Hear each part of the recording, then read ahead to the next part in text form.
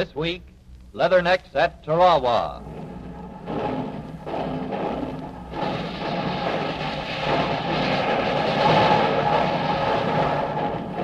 Get all your tanks ashore, Captain Langer? Yes, Major. The Cannonball, China Girl, Colorado, Charlie, and Condor. All of C Squadron got ashore. Good. Go in and blast anything and everything in your way. We've got to clear the beach for the men. Yes, Excuse me, Captain. Well? The lieutenant says the Cannonball's radio is knocked out. To the hell with the radio. Tell the squadron to get underway. We're going in. Yes, sir. Good luck, Langer. Thank you, sir. Corporal. Yes, Have sir. you established radio contact with the flagship? Yes, sir. Then inform the general that the first wave has landed on Tarawa and is advancing inland as per plan.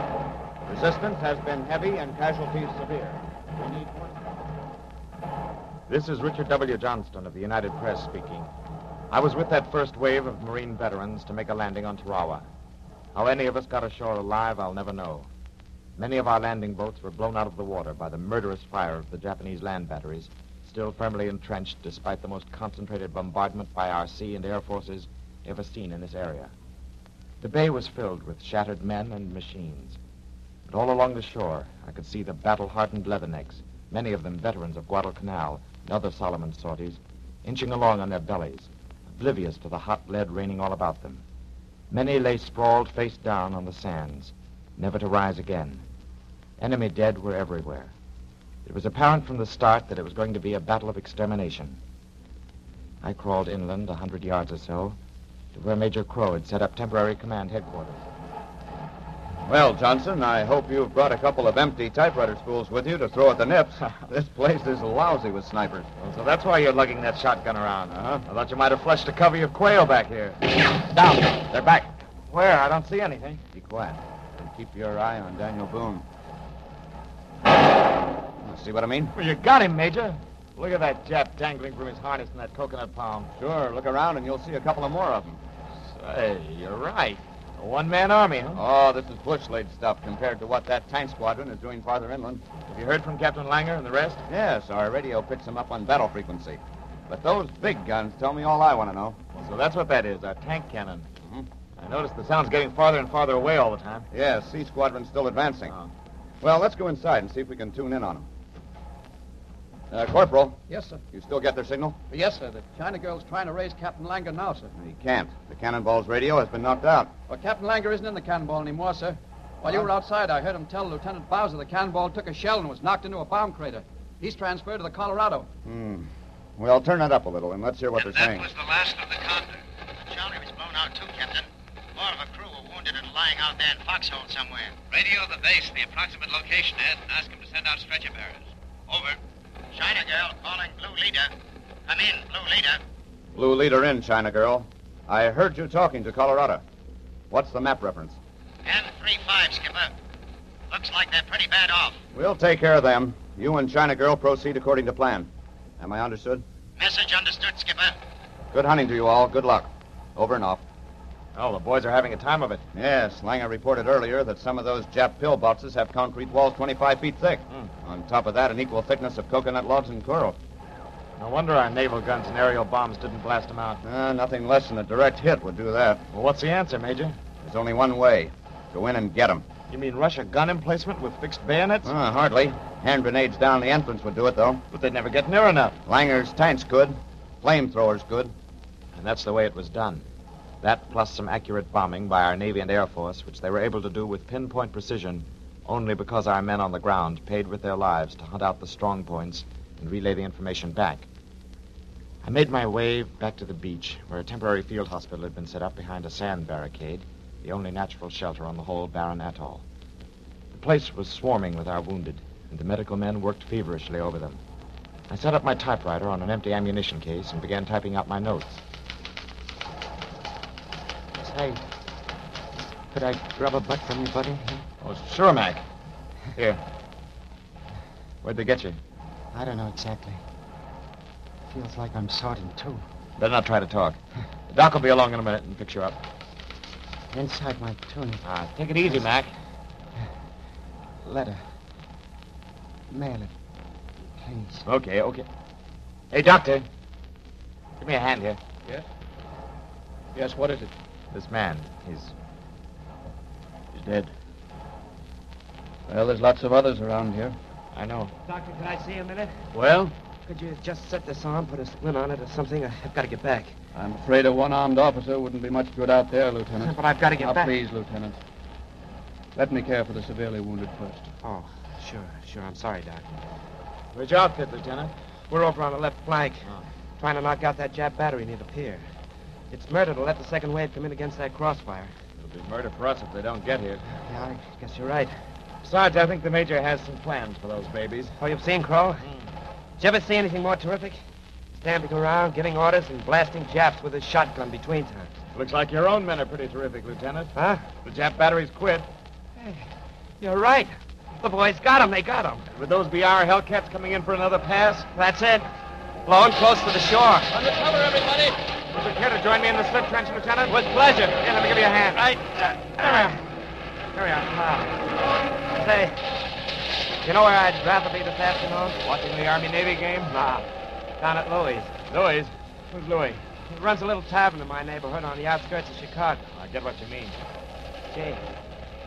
Wonder if the beer tastes as good as I remember. You had any of that Jap beer they captured back in the Solomon? Oh, don't mention.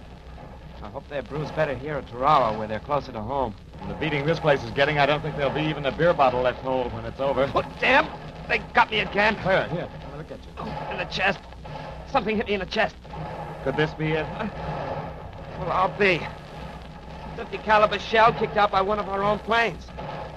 Well, I hope its bullets found a better mark. And so it went for the next three days and nights. Our casualties streamed in at an alarming rate at that beachhead hospital. The Higgins landing boats continued to pour men ashore, but it seemed to me they took back a larger number of wounded than the reinforcements they brought. Yet one by one, the enemy pillboxes were silenced, and inch by inch, those gallant, weary Marines made their way across the T-shaped atoll, mopping up. On the morning of the fourth day, I happened by Major Crowe's command base. Oh, hello, Johnson. Whoa. Still in one piece, I see. Yes, but from what I've seen these last few days, I'd say you and I are the only ones of the original wave that are. Oh, you're wrong there.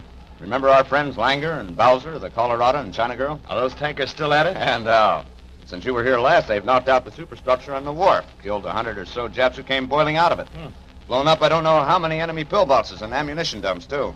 Just, uh, generally roamed around, raising the devil. Well, what do you know? Uh, Corporal, Yes, sir. see if you can't get those time signals a little clearer, will you? Yes. Says Yeah, a that's it. steel turret down here at the end of the island we've got to knock out right away. See anything that looks like it, Captain? Well, if that's it, moving along behind that row of palms down there, our steel turret is a Jap tank. Yeah. Yeah, I see it now. Well, what are we waiting for? You take the high road and I'll and I'll get old Nippo before you. Well, the boys seem to be in pretty good spirits, huh? After 72 hours straight, that's incredible. Listen, they're talking again. Looks like you're in the best position, Lieutenant. Want to take a shot? I'll cover. Do I? Watch this, Captain. Easy now. Easy. A bullseye, Ed. She's burning. Yeah. There come a couple of a crew out of the turret. They're running for that low place over on your side. Yeah, I see 'em. Just let me wheel around here a bit. There. Brother, they hit the jackpot that time. And how? Those Japs ran into an ammunition dump, Captain. You've blown up the whole bloomin' works. Yeah, that was a beautiful sight. Son of a gun if it wasn't. Whoops. Here come our infantry, Captain. Off to your right. Yeah, they seem to have found something interesting in that tunnel over there. Uh, let's go over and have a look, shall we? Right. Well, from other reports I've received, Johnson, I'd say you're sitting in on that Dragon's last stand on Tarawa. I hope so. It's been a tough Wait a minute. deal. Here they come again. What did the infantry commander tell you, Ed? He says there are about 50 Japs crowded into that exit tunnel. Just the job for the Colorado. We'll maneuver up to the entrance, like so. Point our cannon down the mouth, and whoosh!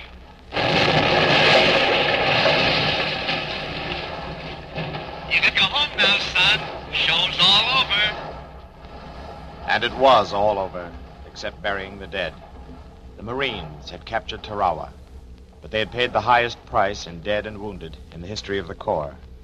Of the 3,000 odd who made the original assault, all but about 200 of them stained that barren atoll with their blood. For about half that number, Their graves will be the shifting sands of that lonely pinpoint in the Pacific. It was a terrible price to pay, but it was their job, and those Marines performed it bravely and unflinchingly. Tarawa was a little battle, as battles go in these days of global war, but as the symbol of the unquenchable spirit of free men everywhere, it will live as long as man cherishes the right to walk with dignity, unafraid. Like Richard W. Johnston, United Press war correspondents are on every battlefront to bring you fast, accurate, and colorful eyewitness stories of history in the making. Armed only with their typewriters, these veteran observers live with the troops and go into action with them. That is why their dispatches reflect so faithfully the sound and fury of battle, the actual conditions our fighting men face.